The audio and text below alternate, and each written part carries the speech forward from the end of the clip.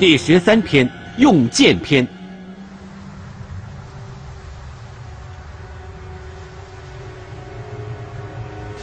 嗯，君王小心！啊！哎，我的剑呢？剑在我这里。嗯，君王，根据可靠情报，敌人三天后的夜晚将攻打我国，我们快回去准备吧。你怎么知道敌人将对我国发动攻击呢？嗯，就是间谍以飞剑通报的消息啊。间谍，嗯，相反，死生，英明的君主，贤明的将帅，之所以一出兵就能战胜敌人，就是能先了解敌情。要能了解敌情，最重要的就是要善用间谍。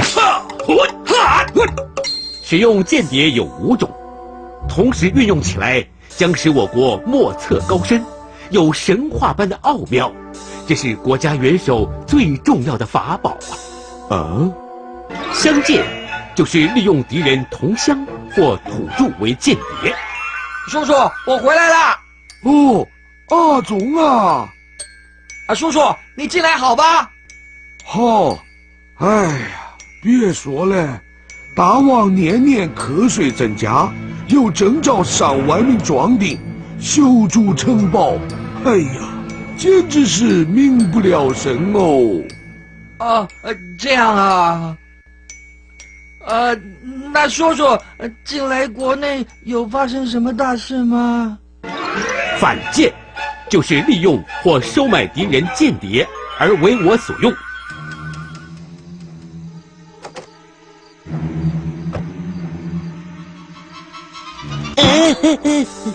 我现在给你两条路选择：一是收了这些黄金，为我收集贵国的军事情报；二，要你人头落地，永远走不出这个门。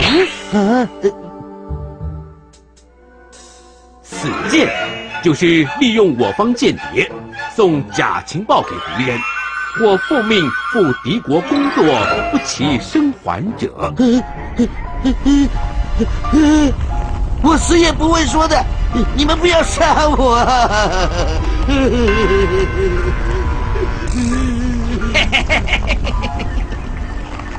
既然他不说，那就……生箭就是指派间谍刺探敌情后。回国报告情报。哎，我们什么时候要出兵呢？大王的意思应该是明天一大早吧？啊，不会吧？这么快？哎，有奸细啊！哎，奸细有奸细！快点，快点，多奸细啊！快点，快点，哪里去了？来来，朋友，多奸细，快点，快点！报告将军，敌国将在明天清晨对我军发动总攻击。嗯，干得好。本将军会对你重重有赏的。呃，怎么只有四个人呢？你不是说有五种吗？嗯，大王，你最近这么累，不如休息休息几天，我带你去。内奸，就是利用敌国官吏做间谍。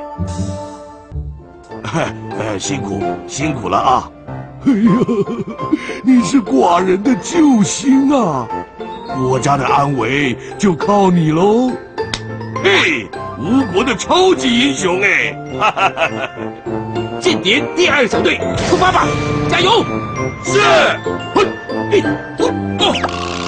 呃，为何贤卿要花费如此多的金钱给间谍呢？哈。间谍都是冒着生命危险为我国探查有利的情报，所以应该以后路及金钱酬赏他们。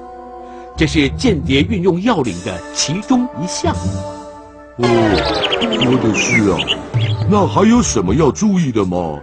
还必须亲近爱护他们，就像君王您刚刚那样。除了上述对间谍的态度之外。运用间谍之人的品格也非常重要啊！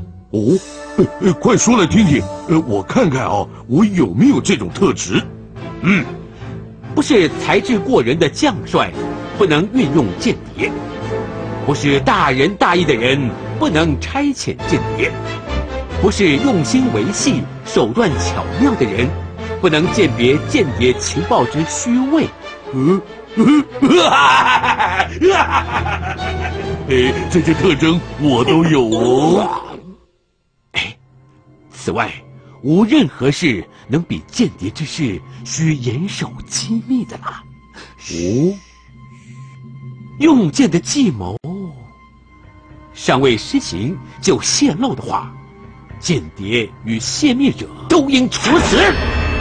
呃，呃呃呃，对对对对对对对对对对了，我我我我我我我想到刚才，嗯，你为何给反反反间的红包特特特别大呢？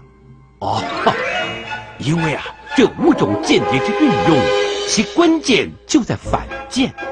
哦，借反间之助，再培养相间、内间，并利用死间假造情报欺敌，最后再利用生箭如期回来报告。所以对反舰不能不特别优待呀、哦，原来是这样啊，嘿，那我了解了。嗯，大